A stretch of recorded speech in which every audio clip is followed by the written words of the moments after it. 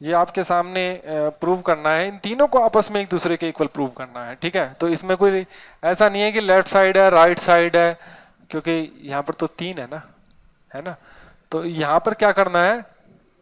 किसी एक को लेते हैं उसको सिंप्लीफाई करना शुरू कर देते हैं। इसमें कोई ऐसे नहीं बोलते कि लेफ़्ट हैंड साइड है राइट हैंड साइड है, ये याद रखना, क्योंकि इसमें तीन चीज़ है, ठीक है? हाँ तो आपस में सबको एक दूसरे के इक्वल प्रूव करना है। तो सबसे पहले मैं इसी को लेता हूँ, सबसे पहले वाले को। तो इसको लिख लेते हैं, one plus tan square A upon में one plus cot square A. तो देखिए, यहाँ पर दोनों में आइडेंटिटी नज़र आ रही है। ये भी आइडेंटिटी है और ये भी एक आइडेंटिटी है। ठीक है? तो one plus tan square A किसके बराबर होता है?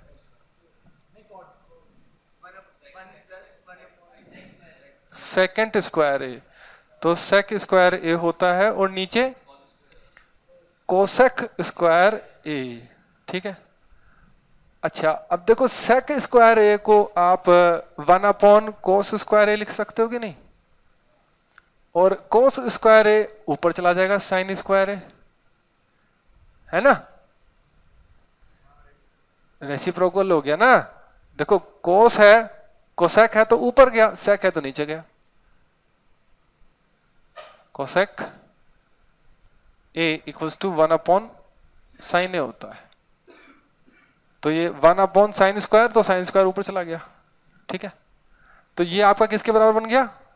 टेन स्क्वायर ए बहुत अच्छी बात है। ये देखो, यानी कि ये चीज़ तो इसके बराबर आ गई।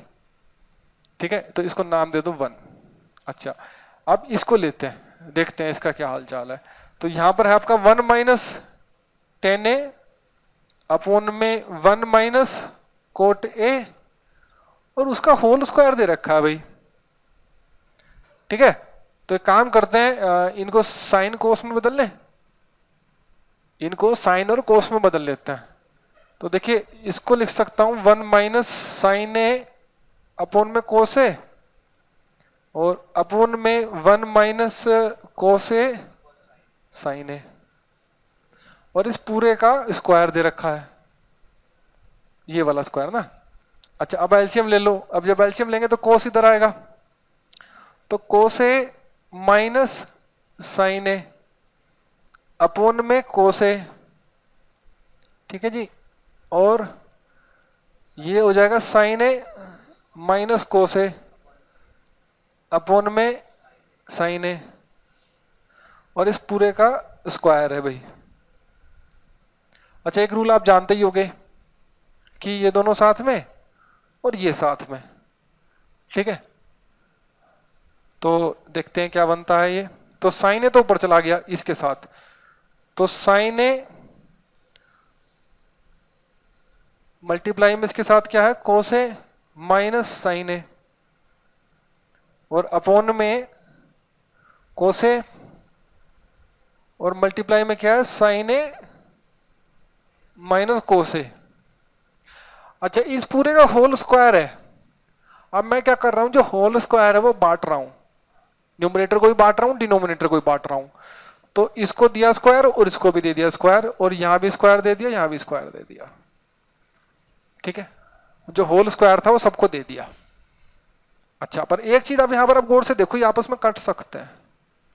जैसे कि मैंने आपको एक चीज़ बताई, पहले भी बता चुका हूँ ए माइनस बी का whole square is equal to B minus A whole square तो इसीलिए ये आपस में कट सकते हैं।